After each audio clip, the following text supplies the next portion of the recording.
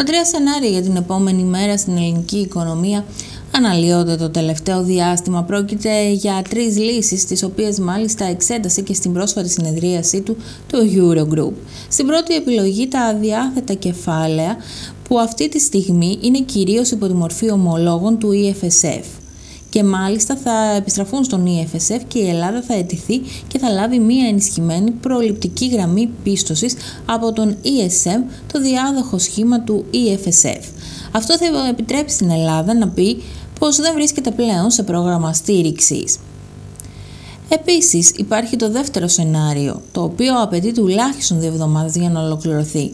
Σε αυτό το σενάριο η διαθεσιμότητα κεφαλαίων των 11 δισεκατομμυρίων ευρώ μπορεί να επεκταθεί πέρα από το 2014 και τα έγγραφα θα μορφοποιηθούν ώστε να επιτραπεί στην Ελλάδα να χρησιμοποιήσει αυτά τα κεφάλαια για την εξυπηρέτηση του χρέους και όχι μόνο για την στήριξη των τραπεζών.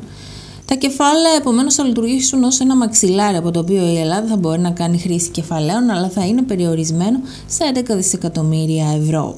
Το EFSF θα μπορούσε να παραναγοράζει τα ομόλογά του για μετρητά εάν η Αθήνα πετυχαίνει μεταρρυθμιστικούς στόχους, αλλά δεν υπάρχει ανάγκη για ένα νέο επίσημο μνημόνιο. Η τρίτη επιλογή αφορά στην επέκταση του τρέχοντος προγράμματος από 6 μέχρι 15 μήνες και θα χρειαζόταν περίπου 2 με 3 εβδομάδες για να λάβει έγκριση. Αυτό μένετε να δώσει στην Ελλάδα περισσότερο χρόνο για να πετύχει τους στόχους για την εκταμείευση της δόσης των 1,8 δισεκατομμυρίων ευρώ, η οποία χάνεται εάν δεν καταστεί δυνατό να εκταμιευθεί μέχρι τα τέλη του χρόνου.